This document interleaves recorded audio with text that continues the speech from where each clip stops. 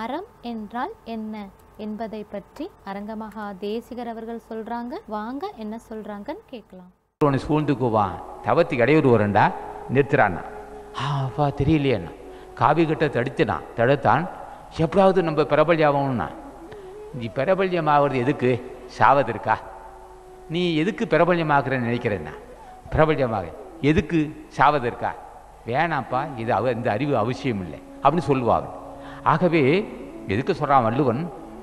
விஷயம் தெரிந்தவன் எல்லா நிலையும் உயர்ந்தவன் சுருக்கமாக சொல்கிறான் அறத்தாடு ஆற்றின் ஒளிக்கு அறநிலுக்க இல்வாழ்க்கை நோட்பாரி நோன்மை. அவன் தான் வலிமை உள்ளவன் அர்த்தம். வலிமை நோன்மைன்னா வலிமை. அவனை விட வலிமை உள்ளவன் அர்த்தம். அடுத்து ஒன்பதாவது குரல். அறநிலைப்பட்டதே இல்வாழ்க்கை தர்மம் இல்லறதான. உண்மை.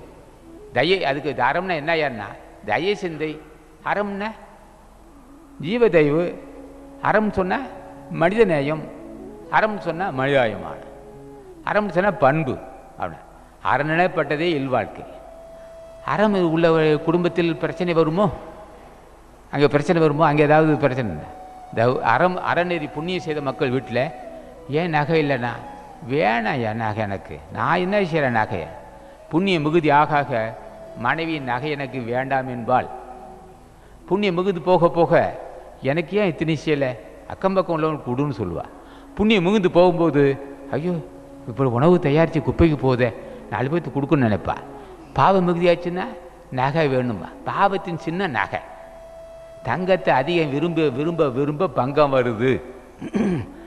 புண்ணிய செய்த மக்கள் விரும்புவாங்களோ? வேணும்.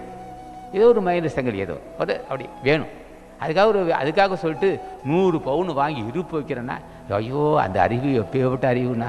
எங்கிட்ட உங்கள்கிட்ட எவ்வளோ இருக்குது நூறு பவுன் இருக்குண்ணா. பாப்பா பாப்பா உடம்பெல்லாம் அறிவு. தலையில் மட்டும் களிமண்ணுண்ணா.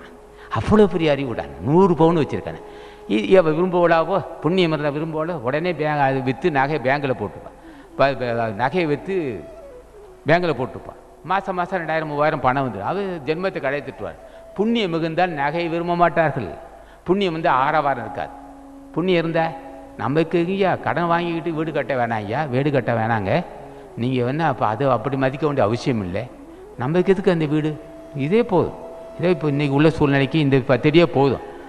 அதுக்காக கடன் வாங்கி வீடு கட்டாதுன்னு சொல்லுவா மனைவி புண்ணியம் இருந்தால் அவர் அப்படி செய்கிறாரு இப்படி இப்படி செய்கிறாரு உன்னை கட்டிக்கிட்டு என்ன செய்வாருன்னு அவளை போட்டு அவனும் கொண்டுடுவான் இவனு இவனு பிரச்சனை வரும். இவன் சில குடும்பம் வந்து கடை சுமந்ததுக்கு இந்த ஊரில் பெண்கள் நான் சொல்லலை. நான் சொல்லலாம் வெளியூர்லேருந்து சொல்கிறாரு சில பெண் சொல்ல குடும்பம் க கடன் வர்றதுக்கு காரணம் திருச்சியிலேருந்து திருச்சி பக்கத்தில் முத்தரசனில் இருக்க பெண்களை சொல்லிட்டு சும்மா அவனை போட்டு இடித்து அவனை ஆடம்பர வாழ்வில் ஈடுபட செய்து அது இதையும் பேசி அவனையும் கடன் ஆய்க்கலாக்கி கடைசியில் தெருவில் நிற்கிற அளவுக்கு செஞ்சிருவான். ஆசானது அருளுரைகளை தொடர்ந்து கேட்க அரங்கர் டிவிக்கு லைக் பண்ணுங்க சப்ஸ்கிரைப் பண்ணுங்க. மறக்காம பெல் பட்டனையும் கிளிக் பண்ணுங்க.